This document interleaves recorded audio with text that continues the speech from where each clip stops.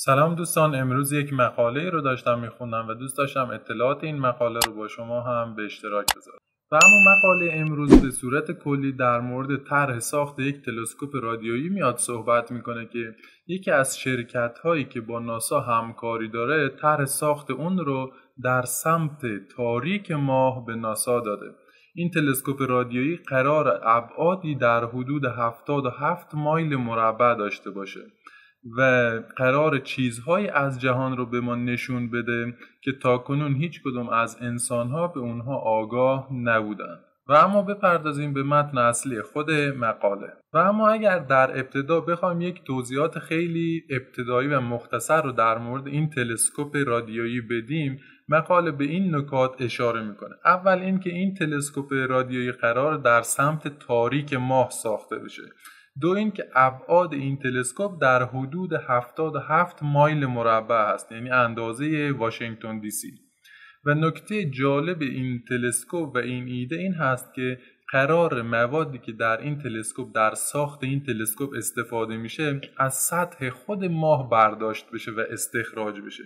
پس این یک پوان مثبت هست واسه این ایده که هزینه ها رو به شدت کاهش بده. اما نویدی که این تلسکوپ به دانشمندها میده این هست که بتونیم چیزهایی از جهان رو متوجه بشیم که تاکنون از طریق تلسکوپ هایی که بر روی زمین بوده قادر به شناخت اونها نبودیم.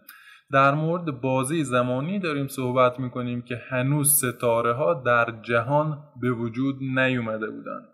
پس چقدر این ایده می‌تونه جذاب باشه واسه دانشمندها و بلخص ناسا. و اما چیزی که باید بهش اشاره کنیم این هست که هنوز در مورد این ایده اقدامی صورت نگرفته و در حد همون ایده باقی مونده. و اما اگر بخوایم یک توضیحات در مورد تلسکوپ های رادیویی بدیم مقاله این رو بیان می‌کنه که مکانیزم تلسکوپ های رادیویی چیزی شبیه به آنتن های رادیویی هست که در ماشین های همه ما وجود داره. خب امواجی که این تلسکوپ ها دریافت می‌کنن امواج رادیویی هست که از انفجار ستاره ها تشکیل ستاره ها یا سیاه چاله ها دریافت می‌کنن و اونها رو ضبط می‌کنن. و اما اگر بخوایم به این بپردازیم که چرا باید تلسکوپ های رادیویی بزرگ باشن در این ابعاد باید این رو بیان کنیم که امواجی که از اعماق جهان داره دریافت میشه توسط این تلسکوپ ها بسیار ضعیف هستند. سطح انرژی بسیار پایین دارن.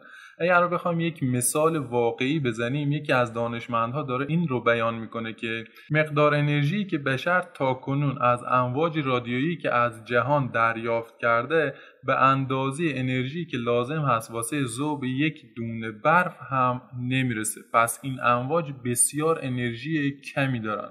پس نیاز هست که این تلسکوپ های رادیویی بسیار بزرگ باشن. و اما بپردازیم به این که چرا این تلسکوپ رادیویی رو ما باید بر روی ماه بسازیم. چیزی که مقاله داره بیان می‌کنه این هست که بر روی زمین تلسکوپ های رادیویی که ساخته میشه توسط اون تمدن هایی که بر روی زمین وجود داره اون فعالیت هایی که داره در روی زمین اتفاق میفته دچار یک نویز میشن و ما بخشی از این امواج رادیویی که در جهان وجود داره رو از دست میدیم. از طرفی هم بر روی زمین ما یک جو بسیار مستحکم داریم. پس از طریق این جو هم مقداری از این امواج رادیویی منعکس میشه و ما مقداری از این امواج رو نخواهیم داشت. پس نیاز هست که این تلسکوپ رادیویی خارج از زمین ساخته بشه.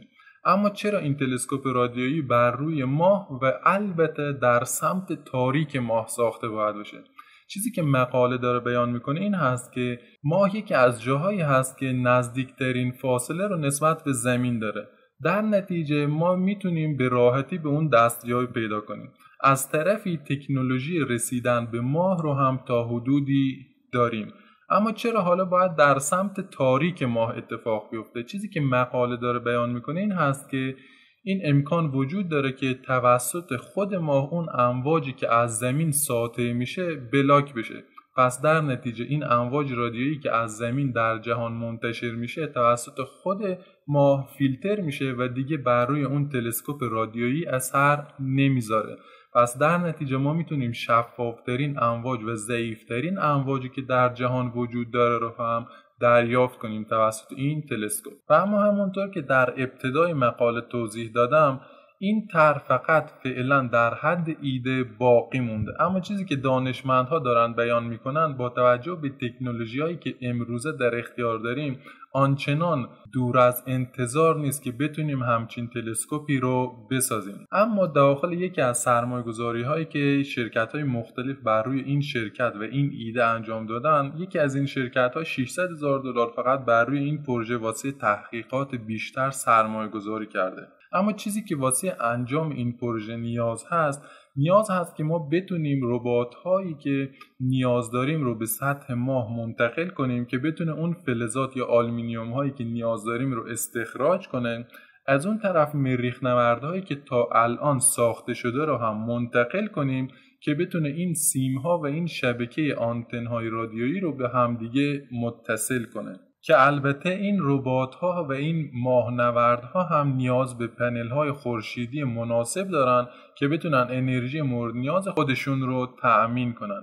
و البته تمام این فرایندها هم باید تحت نظارت انسان تا حدودی قرار بگیره. اما اگر بخوایم یک توضیحات در مورد امواج رادیویی که قرار توسط این تلسکوپ دریافت کنیم بدیم این هست که این امواج رادیویی حدوداً طول موجی در حدود 20 تا 30 متر دارن یا حتی بیشتر. اگر بخوایم مقایسه کنیم امواج رادیویی که ما بر روی زمین داریم تا حدود 3 متر هستند. پس نیاز هست که گستره این آنتنهای رادیویی بسیار بزرگ باشه که ما بتونیم ضعیفترین امواج و بزرگترین طول موجها رو هم دریافت کنیم و ضبط کنیم. چرا که امواجی که از ابتدای جهان تولید شدن طول موج بسیار بزرگی دارند این امواج رادیویی در طول زمان کشیده شدن. پس نیاز هست یک تلسکوپ رادیویی ساخته بشه که امواج در این حدود رو هم بتونه کاور کنه. و اما مهمترین سوال و بزرگترین سوال واسه همچین پروژه های جاه طلبانه ای تأمین هزینه مالی هست چرا که همچین پروژه های نیاز به هزینه های مالی بسیار بزرگی داره.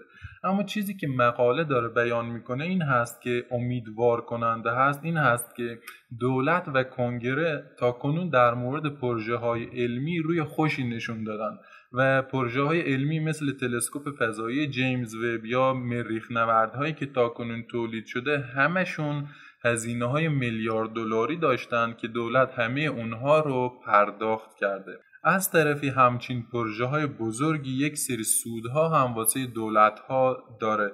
یک از نظر علمی و یک از نظر این که بتونن بخشی از فضا رو در تسخیر خودشون داشته باشن و بتونن به صورت فعالانه حضور داشته باشن داخل بخشی از فضا. پس توجیه پذیر هست و دولت ها هم ترغیب میشن که همچین هزینه هایی رو بتونن پرداخت کنن.